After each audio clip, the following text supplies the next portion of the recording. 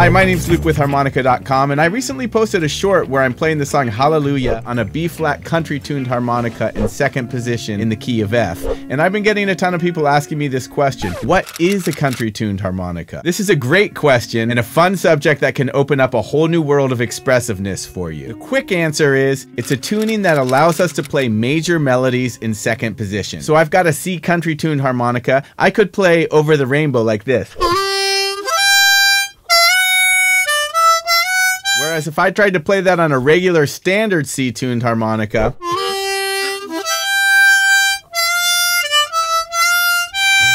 Ugh. If you're a beginner and you haven't mastered bending yet, then you're definitely going to want to consider the Lee Oskar Melody Maker tuning, which is like a country tuned harmonica with training wheels. In this video, I'm going to explain both tunings and provide tabs for how to play the song Hallelujah on each one. Melody makers are labeled in second position, so a C melody maker is in the same range as a low F harmonica. And melody makers make it possible to play major melodies in second position without having to do any bends.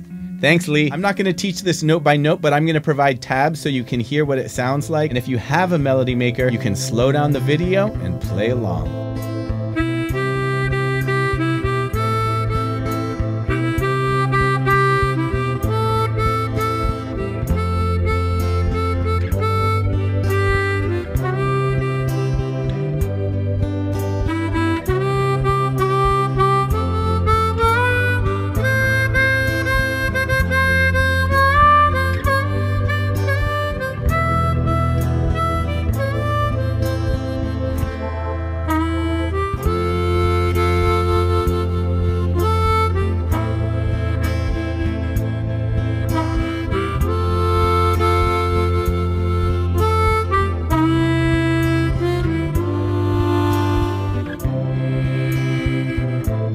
So the Melody Maker differs from a natural harmonica in three ways. The blow 3 is tuned a whole step higher, the draw 5 is tuned a half step higher, and the draw 9 is tuned a half step higher. By contrast, what's commonly known as a country tuned harmonica differs from a standard harmonica in only one way, and that is that just the draw 5 is tuned a half step higher. So a country tuned harmonica is also used to play a major melody in second position, but to get one of the notes in the major scale, we have to do the difficult draw three whole step bend. And that's the difference really between the country tuned and the Melody Maker harmonica. Now, why country tuned harmonica? For you intermediate and advanced players, you'll immediately notice that we can bend into the draw three and the draw four. But since the draw 5 is tuned up a half step, we can now bend into that as well, like on the fourth line. That's the draw five. And then, of course, we have the challenge and the joy of playing the draw three whole step bend, which would have been a nightmare for me 20 years ago, but now is quite a joy.